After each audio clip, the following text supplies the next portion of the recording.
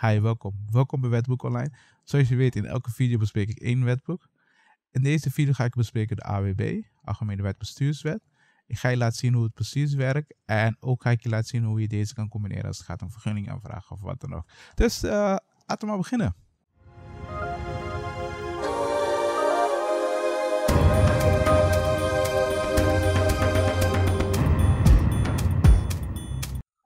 Zoals je ziet bij whiteboard is het belangrijk dat je een paar dingen snapt. Allereerst is het belangrijk, je, uh, je hebt altijd de wet. En daarna heb je verordeningen. En daarna heb je besluiten. Heel belangrijk bij de bestuurswet. Bij de bestuursrecht. Wet staat altijd heel hoog. En boven de wet staat meestal verdragen. En uh, de wetten, sommige wetten bepalen hoe een verdrag wordt geïmplementeerd in de Nederlandse wetgeving. Maar daar gaan we het niet over hebben. Waar we over gaan hebben zijn de wetten. En uh, verordeningen, dus de plaatselijke verordening. Dus als, jij, als, je, als je gemeente zit, dan hebben, heeft de gemeente vaak een plaatselijke verordening. Dus dat vind je, laat je direct zien waar je dat kan vinden. En besluiten. En je hebt algemene besluiten, maar je hebt ook beschikkingen. Dus uh, dat is het verschil. Dus je hebt algemene besluiten en beschikkingen. Ik ga niet precies uitleggen hoe het precies werkt, maar je moet een beeld hebben wat wat is. Dus um, laten we dit gewoon besluiten en je hebt beschikkingen. Beschikking kan zijn bijvoorbeeld een vergunning aanvragen en dingen zeggen ja. En een gemeente of wat dan ook zegt gewoon ja of nee. Dus zo simpel is het. En als ze ja zeggen, dan is het beschikking. Als ze nee zeggen, is het ook een beschikking. Dus komt er een besluit dat zij hebben genomen. Maar laten we gewoon beschikking noemen.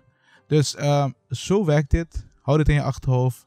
Niet te ingewikkeld maken. Hou gewoon dit in je achterhoofd. Ik ga je nu laten zien waar de wet is, zodat je een beeld hebt hoe het precies werkt algemene wet bestuurswet, dus AWB. Zoals je weet, ik werk um, graag met overheid.nl puur omdat dit best wel makkelijk is. En het is fijn om hiermee te werken, want je hebt snel overzicht van een wettelijke bepaling. En plus, dit is gecombineerd met verschillende wetgevingen, dus best wel handig. Dus zoals je hier ziet, is dit um, hoofdstuk 1, AWB. En als het gaat om AWB, worden de regels als het gaat om bestuursrecht gewoon vastgesteld. Dus als een orgaan, dus een bestuursorgaan, dit kan een gemeente zijn of eh, eh, AWB of uh, wat dan ook, die maakt gewoon een besluit, dan moet die volgens de AWB genomen worden. Dus kijk, um, in hoofdstuk, even kijken. Kijk, als het gaat om besluiten, dan wordt in hoofdstuk 4 um, ehm, de aanvraagprocedure beschreven, dus hoe het precies werkt. Dit zijn de algemene regels. Kijk, soms kan het zo zijn dat je in een bijzondere situatie zit en dan gelden bijzondere regels. En vaak wordt dat ook aangegeven. Maar als er geen bijzondere regels zijn, dan geldt dit de procedure bij een aanvraag voor vergunning of wat dan ook. Dus hier vind je de regels hoe het precies gaat. En verder vind je ook de regels gaat om handhaving of wat dan ook. Dus als jij een boete hebt gekregen of wat dan ook, dan wordt het doorverwezen naar dit artikel. Dus ik 5 van handhaving. En um, als jij niet eens bent met een besluit of een beschikking van een orgaan, dan kan je bezwaar maken. Vaak ben je er tegengekomen. En hier vind je de algemene regels hoe het precies werkt. Soms kan het zo zijn dat jij in een specifieke, specifieke situatie zit, een specifieke regeling, dat jij die procedure moet gaan volgen. Maar de algemene regels vind je gewoon hier. Kijk, de besluiten, ik had het net over besluiten en beschikkingen. Zoals je weet, beschikking gaat over één persoon. Dus je voor de gemeente beslist over een vergunning of wat dan ook wat dat precies in en waarom dat belangrijk is, is belangrijk voor de procedure zelf. En in hoofdstuk 3 wordt precies uitgelegd hoe het wordt omgegaan met bepaalde besluiten. Wanneer is iets een beschikking en wanneer is iets een besluit. Dus al die regels hierover vind je gewoon hier. Dus wanneer is iets een beschikking en wanneer is iets geen beschikking. Kijk, bijvoorbeeld een algemene plaatselijke verordening is geen beschikking. Het is iets dat algemeen geldt voor iedereen. Dit is gewoon een wet eigenlijk. Ik ga je nu een voorbeeld laten zien van de algemene plaatselijke verordening. Dus uh, algemene plaatselijke verordening aannemen. Dus ik woon zelf in Arnhem, dus het handig om dat mee te nemen. Um, hier vind je decentralisatie.regeling.overheid.nl. Dus uh, als je dat opzoekt, dus stel je voor je zoekt van je um, gemeente, dan zoek je dat gewoon op. Druk je hierop. Hier staan de regels die gelden voor jouw gemeente. Dus zijn me meestal specifieke regels voor die gemeente zelf.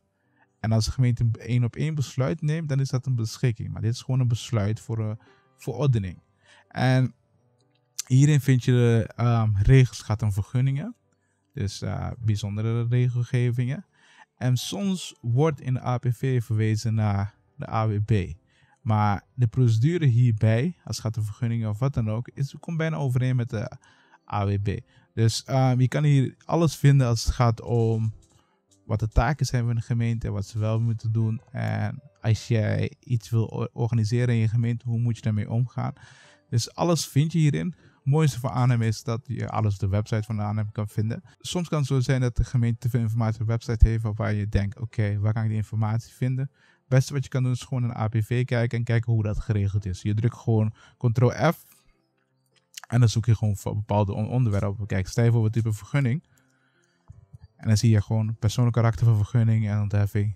En dan kan je er gewoon zo opzoeken. We zijn gewoon aan het einde van deze video. In deze video heb ik je kort laten zien wat het verschil is tussen besluiten en beschikkingen. Wil je meer erover weten, google het. Ook heb ik je laten zien waar je de regels kan vinden als het gaat om AWB. Verder heb ik je laten zien hoe je met de APV moet omgaan. Heb je vragen hierover of loop je ergens tegenaan waarvan je denkt, hey, ik heb best wel hulp nodig met het? Neem gerust contact met mij op. Tot in de volgende video.